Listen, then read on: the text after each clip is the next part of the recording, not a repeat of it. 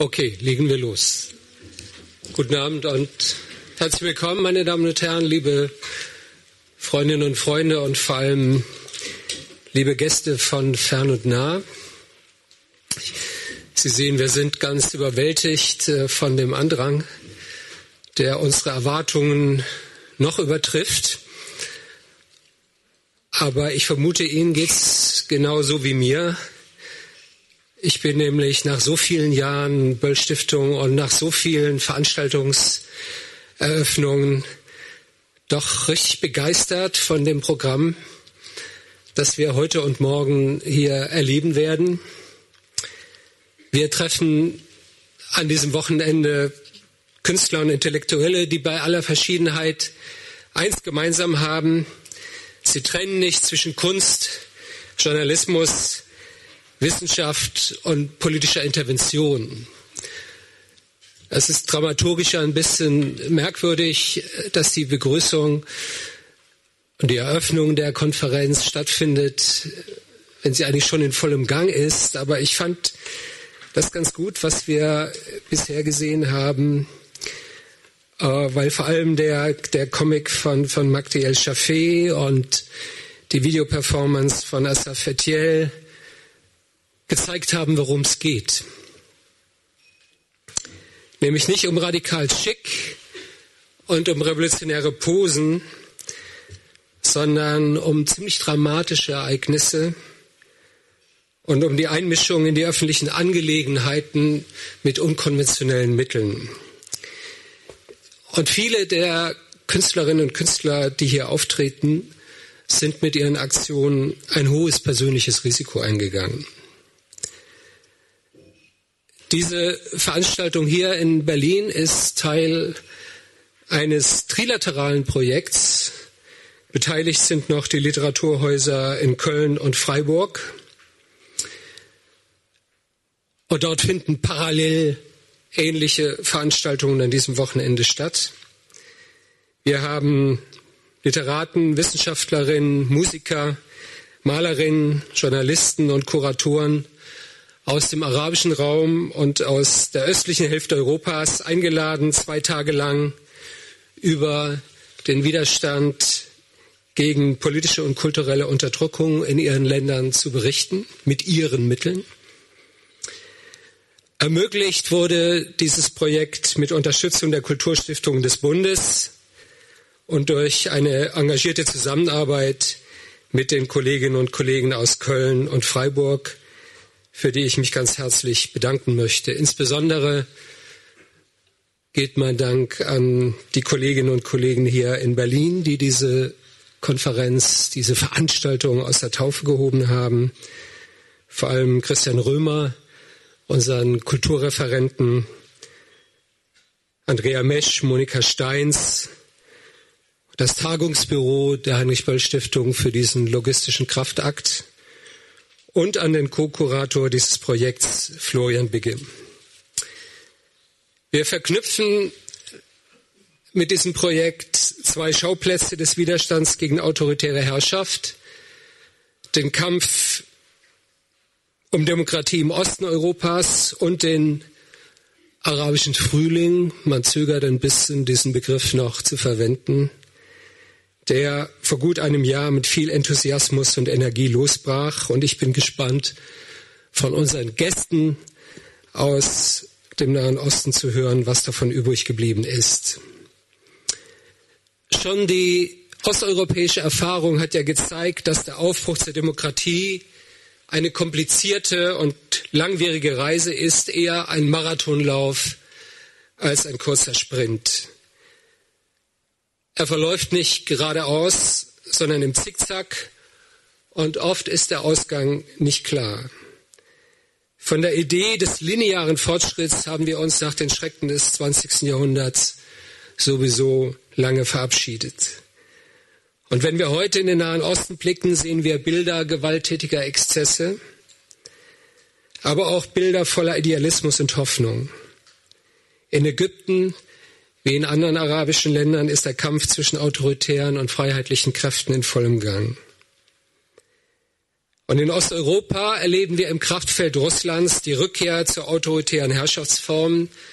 Das Schlagwort von der gelenkten Demokratie ist ja nur eine Tarnung für die Kontrolle von Politik und Ökonomie durch neue Machteliten. Aber auch innerhalb der Europäischen Union müssen Freiheit, kulturelle Vielfalt und demokratische Mitbestimmung immer wieder neu erkämpft werden. Ungarn ist dafür nur ein besonders drastisches Beispiel. An diesen Kämpfen sind vielfach auch Künstlerinnen und Künstler beteiligt.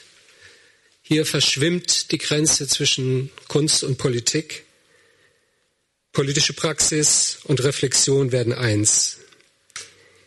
Die Heinrich-Böll-Stiftung ist seit vielen Jahren in Mittelosteuropa und im Nahen Osten engagiert. Mit einer Vielzahl von Partnerinnen und Partnern vor Ort wollen wir den demokratischen Aufbruch und bürgerschaftliches Engagement stärken. Und dazu gehört auch der Dialog mit Künstlerinnen und Künstlern. Wir wollen ihnen das Wort geben und so erfahren, was die Menschen in ihren Ländern bewegt. Wieder die Müdigkeit. Der Titel dieses Projekts nimmt die These der Müdigkeitsgesellschaft auf, die der Philosoph Byung-Chul Han, der in Karlsruhe an der Universität lehrt, dem Westen anheftet. Er bezeichnet damit die Tendenzen von Stagnation und Ermattung, von denen Europa befallen ist, Zukunftspessimismus, Abschottung nach außen, Deindustrialisierung, wachsende öffentliche Verschuldung. Zu diesen Symptomen der Müdigkeit gehört auch, dass die europäische Politik vor allem mit sich selbst beschäftigt ist. Sie erscheint kraftlos, und unengagiert gegenüber den Umbrüchen in unserer unmittelbaren Nachbarschaft. Wo bleibt die ausgestreckte Hand Europas gegenüber den arabischen Gesellschaften? Und was ist aus dem Traum vom gemeinsamen europäischen Haus geworden, das vom Atlantik bis zum Kaukasus reicht? Wir sind nicht so naiv zu glauben, dass wir uns nur die Geschichten von Widerstand und Aufbruch aus unserer Nachbarschaft anhören müssten, um den Geist der Veränderung auch im eigenen Land zu entfachen. Dazu sind die Verhältnisse zu verschieden.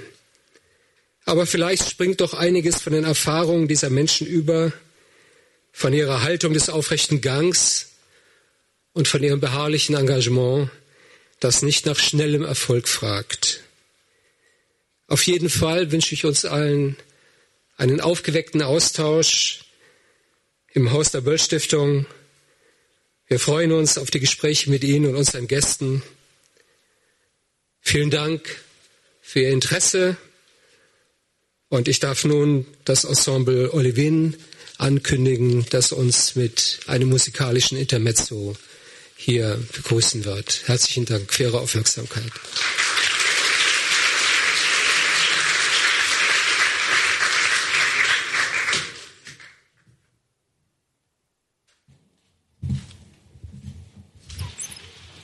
Ja, wir möchten Sie ebenfalls als Ensemble Olivin begrüßen.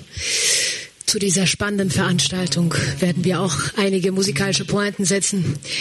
Und zwar beschäftigt das äh, Ensemble Olivin sich mit der orientalischen und okzidentalen Kultur. Und Sie hören zuerst einen Titel, der nennt sich Forelle Hikimoto. Es ist eine Mischung von Schuberts bekanntem Lied vermischt mit dem Schwarzmeer-Volkslied Hekimolo. Viel Vergnügen dabei.